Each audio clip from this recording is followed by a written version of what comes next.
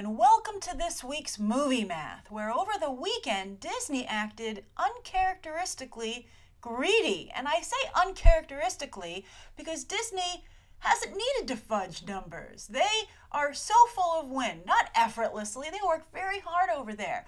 But, you know, they dominate and it's legit.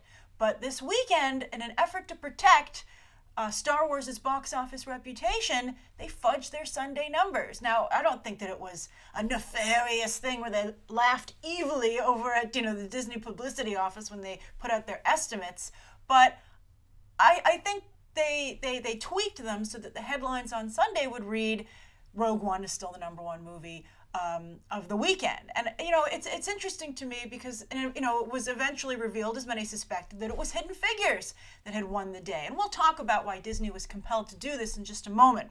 But it really reminds me of what happened last year with the biggest opening of all time shuffle, right? Uh, and as you might recall, Marvel fans were horrified when Jurassic World topped the first Avengers for the biggest opening weekend of all time. Uh, but Kevin Feige was incredibly gracious, and he put out an image, as you might recall, congratulating, uh, you know, Jurassic World and Chris Pratt, who of course is one of his guys, on the win. And you know, it was a gracious moment, and it, it, turned out that Disney reclaimed the title just a couple of months later with The Force Awakens for the biggest opening of all time. So it never hurts to have a bit of class. And I have to say, it's interesting because Kathleen Kennedy, who runs Lucasfilm, might be able to stand side by side with Kevin Feige when it comes to box office results and you know pleasing the fans. But when it comes to maybe the politics of the game, she doesn't quite have the same showmanship. That goes for how she handled this situation.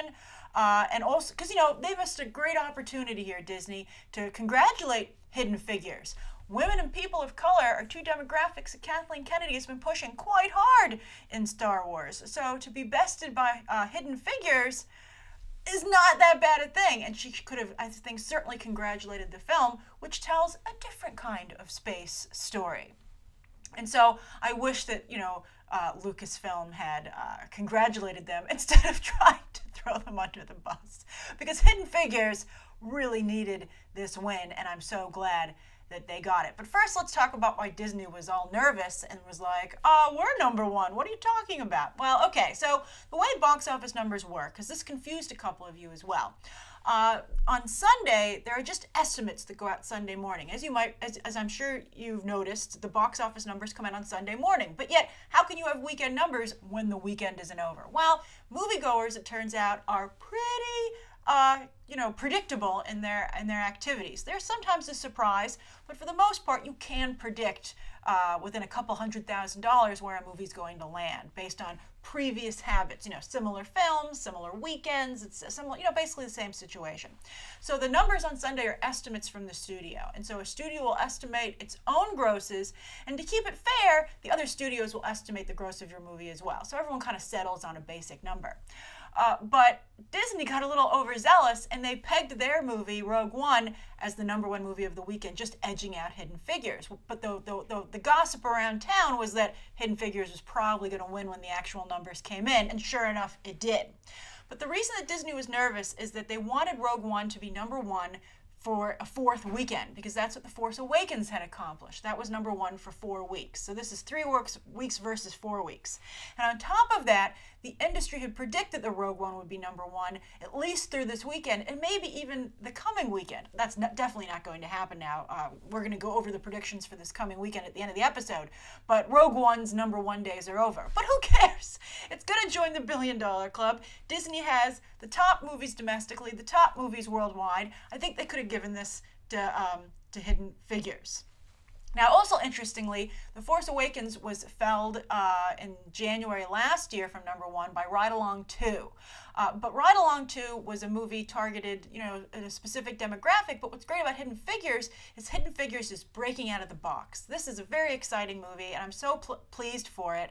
Uh, and it's nice, especially considering what happened on uh, Sunday at the Golden Globes with the Hidden Fences mix up, where both Jenna Bush on the NBC red carpet and then Michael Keaton during the actual ceremony referred to Hidden Figures as Hidden Fences. And it was, uh, some people might be like, oh, they sound similar, they're nervous. You know, they, that's how both, at least uh, Jenna Bush tried to, to, to excuse it. She was like, oh, it was my first red carpet, I was nervous, I'm sorry. Of course I know about both movies. But it's like, would you have done that with movies that you were more familiar with, right? I mean, it's like, it shows a lack of familiarity and that those movies really aren't on your radar, right? Like, it's, it was, I think it was, it was pretty bad. And the fact that two people did it, I think was even worse. So, uh, and I think that was a little bit embarrassing uh, for for Hidden Figures, which very much wants to be seen as its own movie. You know, I don't think it helps either movie for them to be grouped together because then they can be easily dismissed together. But I think these numbers are harder to dismiss. So good for Hidden Figures. It did get the number one spot, and this is an important step away from slavery movies. This is a different type of story. It's also great for people of color and also for women. Uh, so that's important. And on that note, Taraji P. Henson and Janelle Monáe Instagrammed, uh, The Hollywood Reporter was the first trade to call that Hidden Figures was number one uh, when the actual numbers came in. And they Instagrammed that story, and uh, Taraji P. Henson specifically pointed out that she had been told that black women can't open movies. And she's like, here you go. Uh, and this is a discussion we've seen happen, you know, more and more publicly that women and people are, uh, particularly women, women and women of color, because I think that, uh, you know, black actors have been proven to open many movies at this point. But women and black women are often told you can't open a movie, right? Or you can't open this kind of movie. And I think that we're seeing that 2017 might be the kind of year where we see that you know that argument silenced once and for all. For instance, if you don't know the story, uh, with Arrival, starring Amy Adams, uh, you know, huge BAFTA nominee. This uh, that just came out this morning. Uh, you know, very highly respected film, box office. Uh, you know, I think solid success. But they, when they were pitching that movie, they were like, "Why can't it be a guy? Why does it have to be a, a woman? You know, why can't we change the Amy Adams character to a guy?" So this is still very much a problem. But maybe after 2017, with movies like Hidden Figures and Wonder Woman and Ghost in in the shell, it will no longer be a problem. All right, so anyway, look at these numbers for the audience breakdown. This is so encouraging. 43% of the audience was Caucasian. That and, and 37% African American. That means the majority of the audience that turned up for Hidden Figures was uh, you know was Caucasian, and that's huge for a quote unquote black film. I think that the film was very well structured. It had three great uh, female black leads, but also I think Kevin Costner and Jim Parsons and Kirsten Dunst uh, did a lot to I think balance it out and make it seem, even though they weren't the leads, I think you know make it seem less like it was intended only for a specific demographic. So that's fantastic. So that's very savvy casting and how they put the movie together. So that's kudos to the producing team. Uh, then also 64% of the audience was female and 56% over the age of 35. Maybe that will show that there's some growth as uh, other demographics maybe decide to check out the movie. Uh, it didn't get any Golden Globes.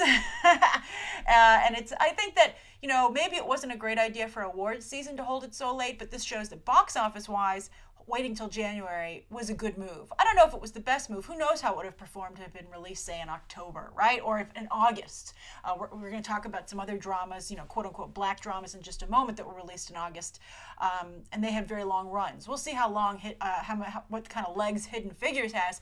Let's see if it can run uh, as long and as, uh, and as, has the same kind of stamina as Taraji P. Henson does in the movie. If you've seen Hidden Figures, you know what I'm talking about. It's a fantastic movie. You really should go and see it. It's one of my top 10 movies of the year. But anyway, uh, in comparison, it opened actually right in the same place as these other quote unquote black dramas, which shows a little bit of a roadblock for these movies. Now the next thing is for them to break out. I mean, this is a win because of the audience demographics and also because this stars women. Uh, you're about to see two, as you can see here, two male-driven film, uh, films, uh, and then also, well, 42 also had. Um, Harrison Ford. And then The Help was very much also a you know a divided cast, also with Bryce Dallas Howard and Emma Stone.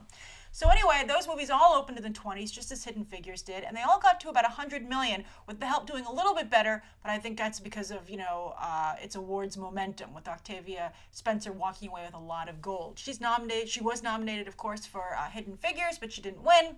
Uh, and you know, unfortunately Hidden Figures is not a frontrunner when it comes to this year's award season. It's getting the recognition, but I don't see it really moving past nominations, unfortunately. But at the box office, it is the big winner, especially against the other uh, quote unquote black competitors at awards season this year, with Fences opening at just 11.6, uh, and it's up to 40 total. And then Moonlight opened wide at 1.4 when it went wide eventually, but it's only made 13 million total. So, uh, at the very least, I think that the Hidden Figures team can be quite proud for what they've accomplished financially. And, you know, critically, I would have preferred it had been a little bit of a stronger awards contender, but I think this is a fine place to settle down.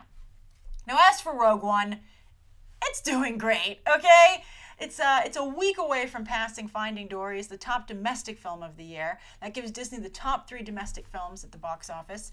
And it's already reached number five worldwide, and I think that it will reach a billion dollars. Now, as many of you pointed out, China is not really materializing for Rogue One. It opened with 31 million over the weekend versus uh, 53.2 for The Force Awakens last year. Uh, and that's with Donnie Yen and Jiang Wen. So if I were Disney, I'd be like, what the hell, Donnie Yen? I paid for you. Why aren't you delivering? Uh, that would be a little disheartening for me. And I think it doesn't it doesn't bode well for casting, uh, you know, Chinese talent in future Hollywood movies if they can't deliver at the box office there. But Star Wars always has a bit of a hurdle uh, in China because they didn't play the original films, so it's never been a phenomenon there. It's like a new franchise to them. Uh, and also, though, people are pointing out that Passengers is opening there next weekend, and that could really, you know, cut off Rogue One's, uh, you know, long distance plans at the Chinese box office.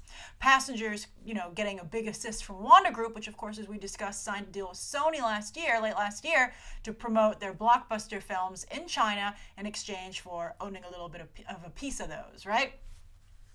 The Force Awakens eventually made 124.1 million from China, but Rogue One overall just needs 86 million to join the billion dollar club, and it's going to get it from China. If it still has, I think, a little bit of uh, life left left in it in the United States and the other countries where it's playing, it's going to get that 86 million. It will join the billion dollar club, and I think that's all that it needed to do.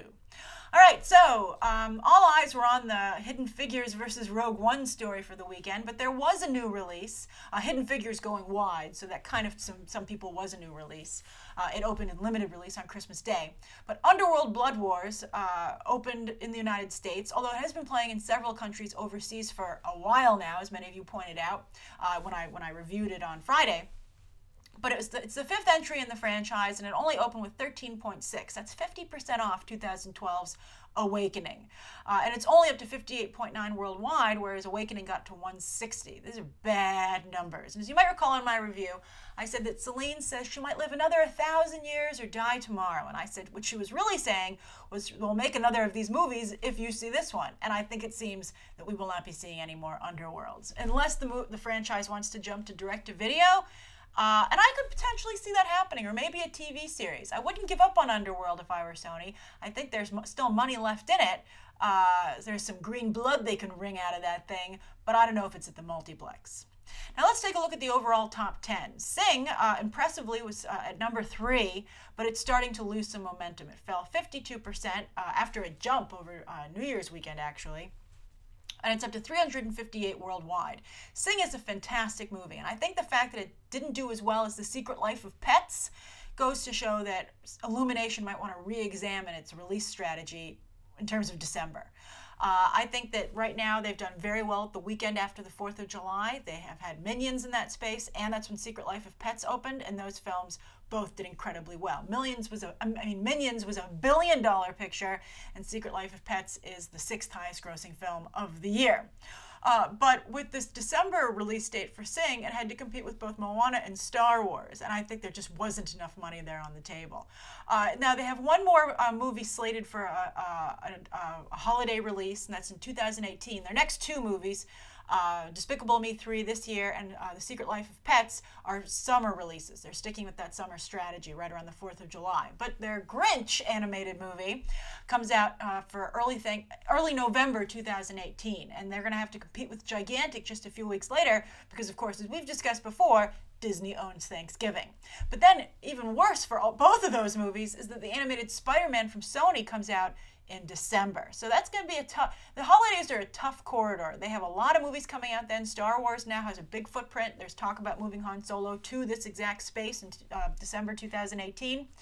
Uh, and also, people are doing things for the holidays, so that puts even more pressure on the movies. But I have to say, a Grinch animated movie would be holiday specific, and Benedict Cumberbatch is doing the voice. So I can see that being competitive. Then La La Land uh, held steady with a 6% rise, but I think it's going to do even better in the, in the coming weeks because it's do, being so lauded for award season. It has the most Golden Globe wins ever. It won every single, single category it was nominated in. It led the BAFTA nominations. It's probably going to dominate at the Oscars, and it's already at 51.7 million. That's amazing. And that's domestic. That's domestic. Uh, just to give you some perspective, Damien Chazelle's last movie, Whiplash, only made $13 million total. So this is great news for him. And it's also great news for Ryan Gosling, who they're going to they're to reteam tell Neil Armstrong's story for the next project. But this is the biggest hit for Ryan Gosling since Crazy Stupid Love, where he was also teamed up with Emma Stone. And as for Emma Stone, this is her biggest hit since the Spider-Man movies kind of like took over her career and her personal life but I think she's been working very hard to kind of get back to where she was when she signed the Spider-Man deals, coming off of Easy A, where she was, I think, at like the pinnacle of her career. And I think she's, you know, it took a little bit of effort, but I think she's finally back where she where she you know took took a crazy um, exit exit uh, with Spider-Man. And I think nothing holds, holds up a career like awards. She just won the Golden Globe. If she can win the Oscar and maybe the SAG award, uh, she'll work forever. She'll she'll be golden literally. All right. Uh, then also stateside, back to passengers, that fell 45% in its third weekend. But you know what? There's a small chance it could pass 100, 100 million. And you know, with that all important century mark will allow everybody involved with the project to hold their head high. I think they can kind of hold their head high anyway. Let's see what it does uh, worldwide. It's 178 so far. It's about to hit China, as we just discussed. It cost 110 million dollars to make that movie, and a lot of it was salaries. That's 30 million dollars in salaries. Uh, a little bit actually over that. It was 20 for Jennifer Lawrence, I believe, and 12 for Chris Pratt. And she got she got profit percentage a, a percentage of the profit, but I don't know if there's going to be any profit on this movie. But anyway, I think it'll probably has I think some gas left in it worldwide, and I think it's going to do really well on streaming. I think everyone's going to try the Jennifer Lawrence Chris Pratt movie when the price point goes down, right? So I think that ultimately Sony doesn't have to be embarrassed they paid them so much money, and I think they kind of got their money's worth. I think that if anybody does check out Passengers, it's because of the star power of Jennifer Lawrence and Chris Pratt.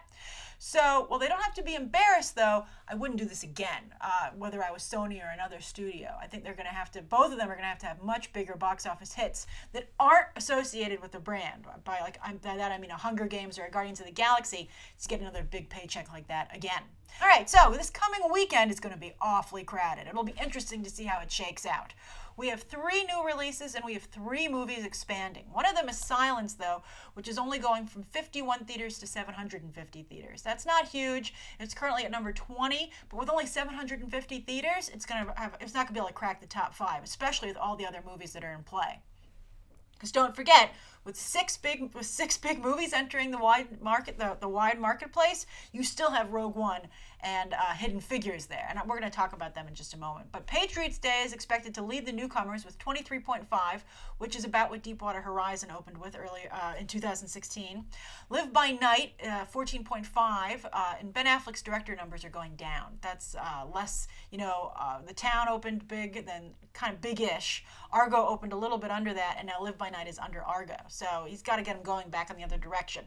Monster Trucks is supposed to open with 12, but Paramount has already written that movie off. Sleepless at 11.5, because uh, Jamie Foxx is in a bit of a slump. Uh, although I don't think they advertised that movie enough. I think the trailer for Sleepless is quite good. I'm actually kind of excited about it. Uh, and Bye Bye Man coming in last place with just 9 million for its opening. Now, as for Hidden Figures and Rogue One, where will they fall here? I think that Rogue One will probably drop another 50% or so, so that'll bring it in just with an 11, so it's going to be in the middle of the box office next week. Uh, but as for Hidden Figures, it could have a pretty good hold if you look at some of the similar movies. Butler, the Butler, 42, all fell in the 30s, and the Help uh, fell just 23% in its second weekend. So I think if you're with conservative numbers saying that it's only going to, uh, saying, you know, it's going to maybe fall, I don't know, 30% ish, that would put Hidden Figures in its second weekend at 17 million. So that would give it a number two spot behind Patriots Day, which would be not bad. So we'll see how the movies shake out this coming weekend. What are you planning to see with so many choices? Uh, write, uh, write your, write your uh, pick down below, and you can check out some more videos right now.